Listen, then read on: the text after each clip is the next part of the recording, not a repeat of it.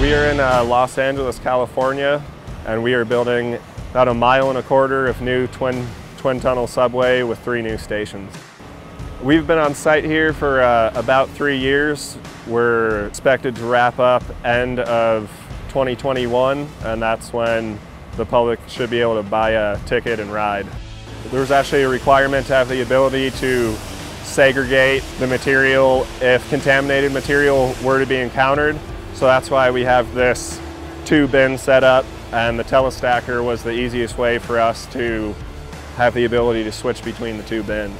That's worked very well for us here so far. Our average day is 200, 250 tons. Best day up to like 150% of that. It's performed for us very well. It was easy to put in. It came in one piece how it sits there. Basically picked it with the crane off the truck and set it in place.